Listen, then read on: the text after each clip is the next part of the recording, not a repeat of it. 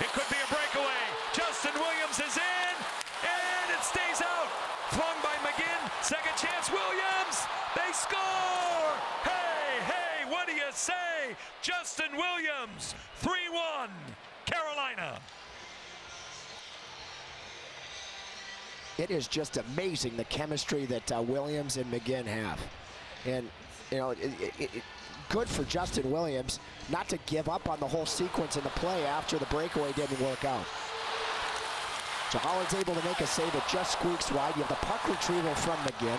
Rask goes to the front of the net. But in, instead of being a spectator, the three-time Stanley Cup champion Justin Williams gets himself